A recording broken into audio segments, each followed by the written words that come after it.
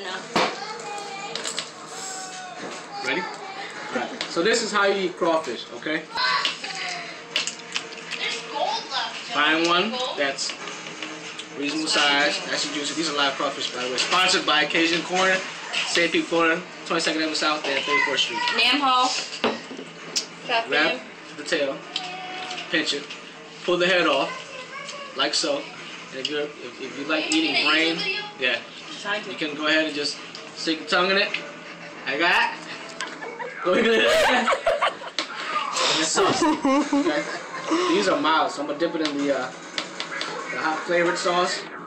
And then at this part, you can eat the whatever meaty part that is, Not really mild. the rib cage, whatever. Right down, and rip it off.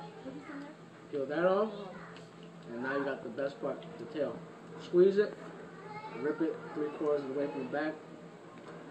Rip the tail off, rip the middle off, and voila. Then you drink a beer. Finger looking good. Tastes so good, make you want to slap your wife.